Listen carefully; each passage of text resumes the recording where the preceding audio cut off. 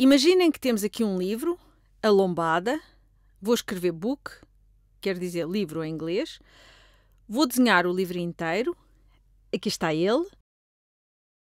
Deste lado está um espelho. Isto é um espelho. Isto é um espelho visto de lado. Que linha tão torta. Agora, o que quero fazer, vou começar por escolher um ponto qualquer neste livro, um ponto arbitrário. Sabemos que existe luz que está a incidir neste livro, ainda não vos disse nada sobre a fonte de luz, mas vamos assumir que o livro está a refletir difusamente a luz, como acontece com a maioria dos livros. Não é um livro brilhante. Portanto, qualquer ponto deste livro, podemos escolher qualquer ponto arbitrariamente, está a emitir luz numa série de direções o que eu vou fazer é escolher dois raios luminosos que estão a ser emitidos deste ponto do livro. Estão a ser emitidos mais que dois, mas isto vai ajudar-nos a compreender o que se passa com todos os raios. Vou então escolher um raio luminoso que se propaga, obviamente que não faz esta curva, propaga-se assim e atinge o espelho. O ângulo de incidência do raio de luz no espelho é igual ao ângulo de reflexão. O raio é refletido com o mesmo ângulo nesta direção. Vou escolher outro raio luminoso que está a ser emitido radialmente do mesmo ponto e que vai ter esta direção. O seu ângulo de incidência é maior, por isso o seu ângulo de reflexão também vai ser maior. Aqui vem o raio refletido. Vamos pensar o que um observador, um observador com um olho mesmo aqui, o observador está aqui, vou desenhar umas sobrancelhas e o cabelo. Vamos pensar sobre o que esta pessoa está a ver. Na verdade, toda a realidade é apenas uma grande simulação que está a acontecer nos nossos cérebros.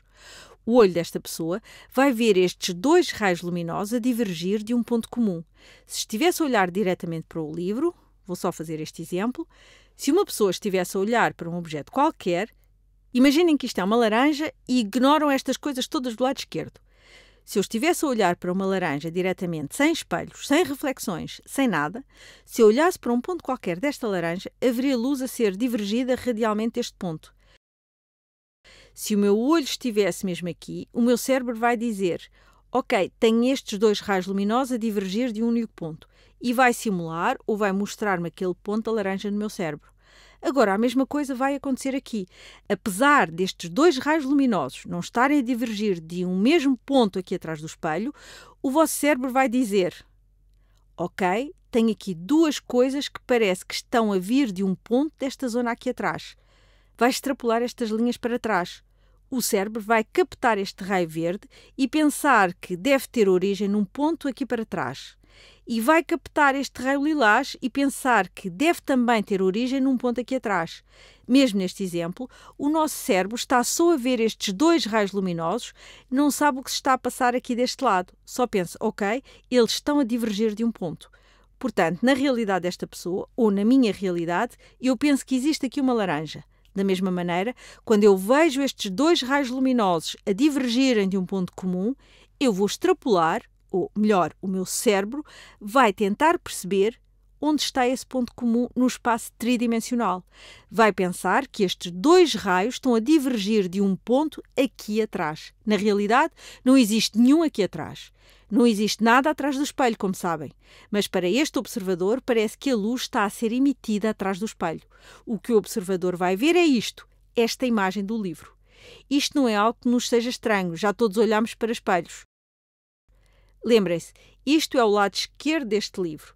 Não, desculpa, isto é o lado direito do livro. É o lado que tem as barrigas do B. Por isso, no espelho, vamos ver isto. O que este observador vê é uma imagem que tem este aspecto. É a imagem espelhada, a imagem simétrica. O lado esquerdo e direito estão invertidos. E por que é assim? Vou desenhar mais um raio luminoso. Se este raio vier assim, vai ser refletido.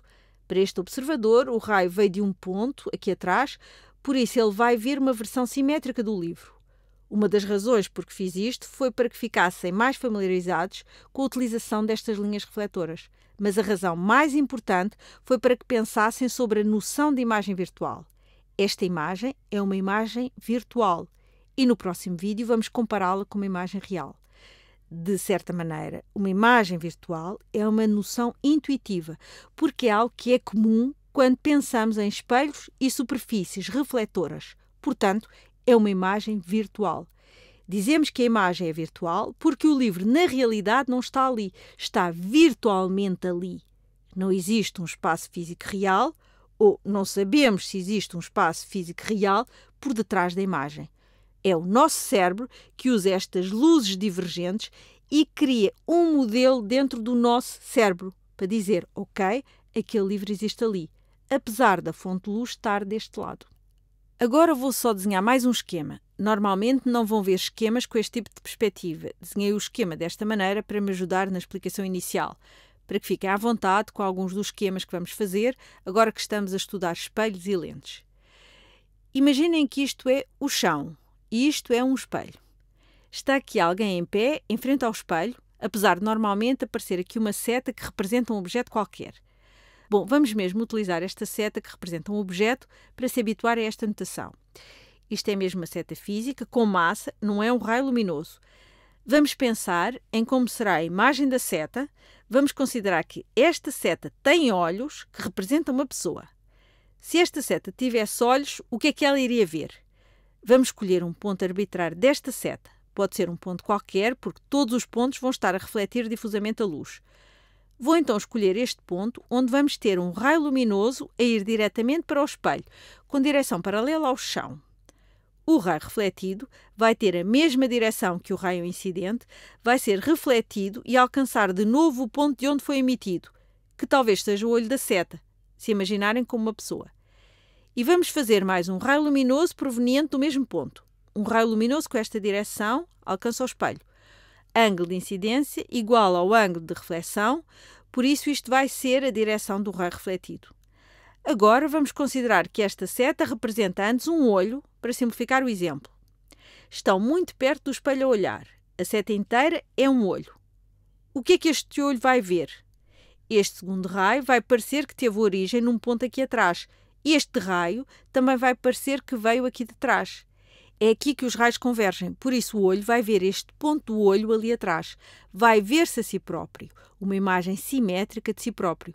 No geral, este tipo de esquemas são usados para ajudar a pensar como vai ser a imagem real ou virtual de um objeto, quando a luz desse objeto é refletida num espelho ou quando atravessa um certo tipo de lente. Espero que este vídeo vos tenha tornado um pouco mais familiarizados com o que vamos continuar a estudar. Até breve!